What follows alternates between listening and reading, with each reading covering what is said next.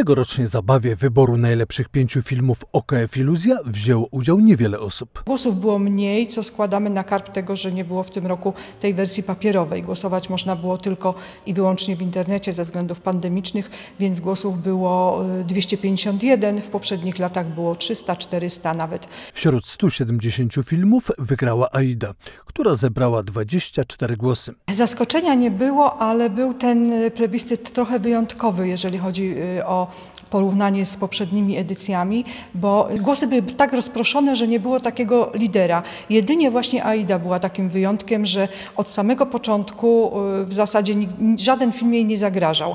Natomiast no, rywalizacja się rozegrała do samego końca o drugie, trzecie i czwarte miejsce, bo w tym roku trzecie miejsce dwa filmy aequo zajęły.